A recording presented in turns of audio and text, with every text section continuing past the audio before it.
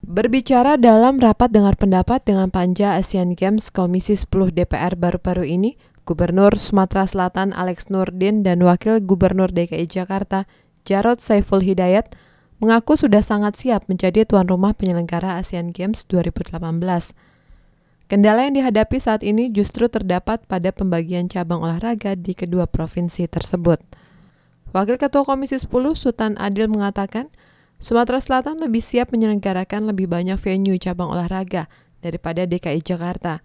Pasalnya, Sumatera Selatan sudah siap dalam 18 venue cabang olahraga yang sudah pernah diselenggarakan untuk tingkat dunia.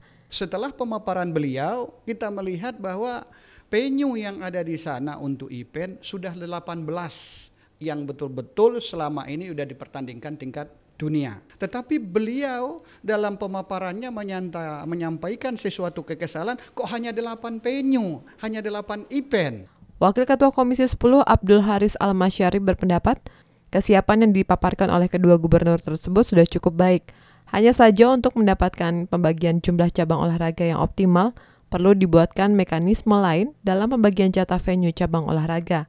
Abdul Haris menilai, Kekesalan yang diungkapkan Gubernur Sumatera Selatan dinilai wajar karena Sumatera Selatan memiliki venue cabang olahraga yang lebih banyak daripada yang jatahkan oleh Kemenpora dan KOI.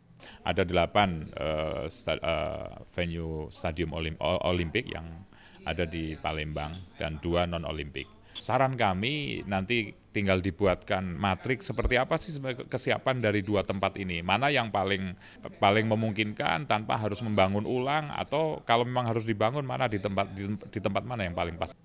Panji dan Rifki TVR Parlemen melaporkan.